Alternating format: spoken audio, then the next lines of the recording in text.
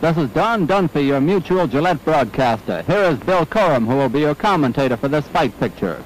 Howdy, folks. Here are the highlights of this World's Heavyweight Championship for the benefit of the Navy Relief Fund. We start with Louis in his training camp at Greenwood Lake, New York, where he is preparing for this bout with the 250-pound Buddy Baer, the most unusual heavyweight championship contest in the history of boxing. For in this short but sensational encounter, Louis risked his million-dollar title without one cent of compensation. Never before and probably never again, unless Louis himself should do it, as a champion donated his entire purse, in this instance around $70,000, in the bright and brave cause of patriotism.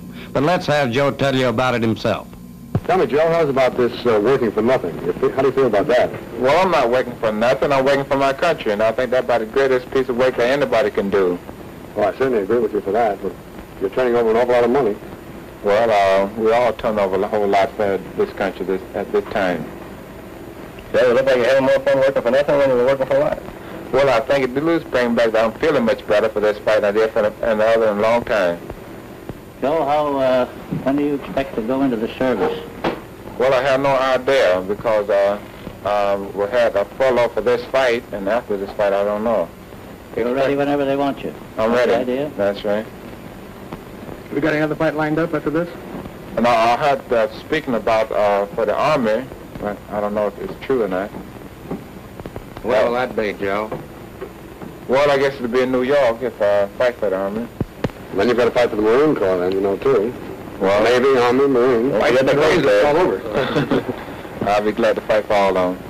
And now on the Madison Square Garden ring, as we wait the opening bell, buglers of the Navy and Marine Corps herald the entrance of former presidential candidate Wendell L. Willkie, who pays tribute to Louis and Baer.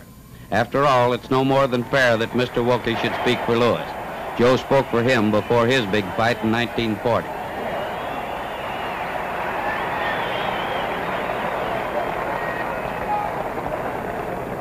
Hold it. Joe Louis, to you for your magnificent example here tonight in risking your championship belt that has literally been won through toil, tears, blood, and sweat. We thank you and the American people thank you.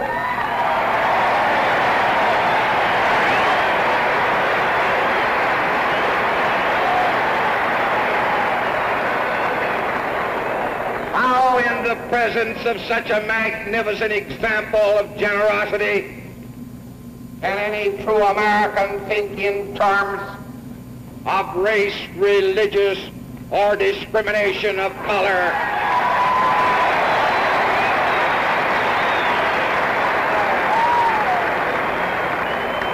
And the U-Match Baer, a little over a year ago, Buddy Baer, I should have said. You know, a year ago I took on a champion too.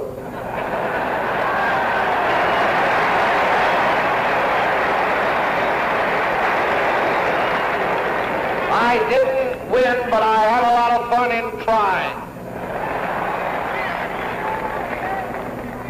And both my opponent and myself came out of that struggle resolved and join in the resolution that American democracy shall not alone live, but shall rule the world.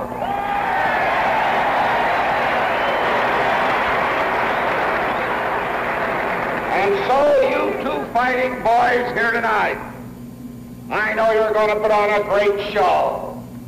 But when it's over, if any Jap or flock of Japs think you'll be divided in defending America, they'll be very greatly mistaken. Fifteen rounds for the heavyweight championship of the world, weighing 206 and three quarters, wearing purple trunks, the heavyweight king, Joe Louis.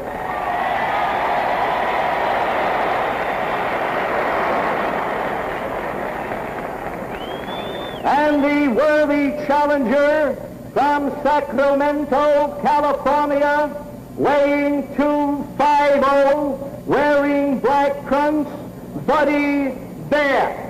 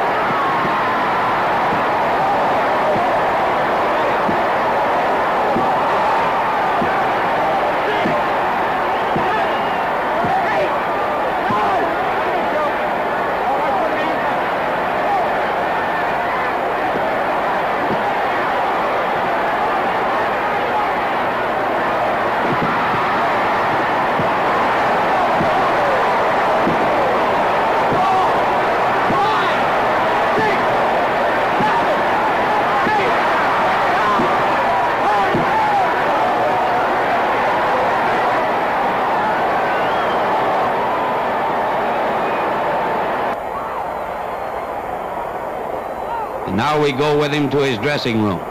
Buddy Barry, he's very game and he's a very good fighter. He can take it very good.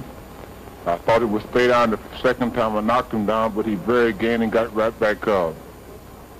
But I'm very happy to do my part for the U.S. Navy.